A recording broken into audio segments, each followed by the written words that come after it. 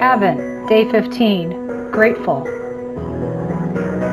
And giving joyful thanks to the Father who has qualified you to share in his inheritance of his holy people.